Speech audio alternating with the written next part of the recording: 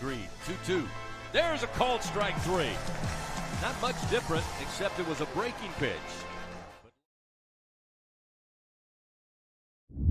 It's always great to see those people in the middle of that prime. Yes, 3 sir. 2, breaking ball, and Frizzell down on strikes. Ma'Khail Hilliard going to slowly and calmly make his way to the dugout after striking out, looking one of the best hitters in all of college baseball.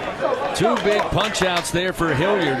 Tabasco strikeouts to start out his day, and the Aggies go in order.